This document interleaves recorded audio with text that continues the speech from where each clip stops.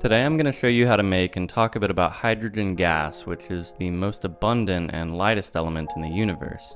To do this, I simply react sodium hydroxide with some aluminum foil which will quickly generate hydrogen gas and aluminum hydroxide. Now despite being a gas, hydrogen is actually in group 1 of the periodic table along with the alkali metals, and can perform a lot of the same reactions. One key difference though is when hydrogen reacts with one of the halogens, instead of forming a salt, it'll form acid, such as hydrofluoric, hydrochloric, hydrobromic, or hydroiodic acid. It'll also react with the chalcogens to form either highly toxic gases or water. However, hydrogen is most known for being explosive, as you can see here.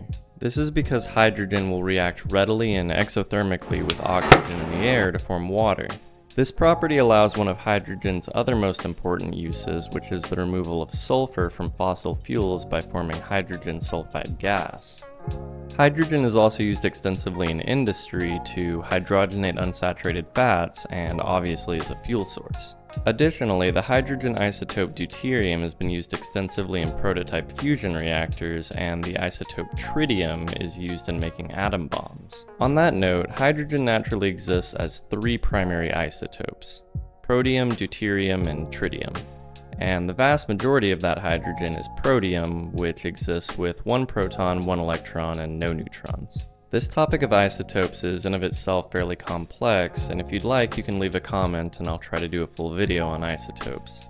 Anyway, the last thing I want to say about hydrogen is that like many other gases, it can be put into an ampule under vacuum pressure and energized to release a specific spectrum of light. I've done a video on this before which you can check out if you're interested, but hydrogen gas has an emission spectrum that is almost purple to the naked eye, but when you view it under a diffraction grating, you can tell that it's actually comprised of primarily teal and fuchsia pink light. And uh, yeah, that's all I can think of when it comes to hydrogen. If you like this video and you'd like to see more videos like this, specifically more element videos, consider leaving me a comment and following me on TikTok or YouTube.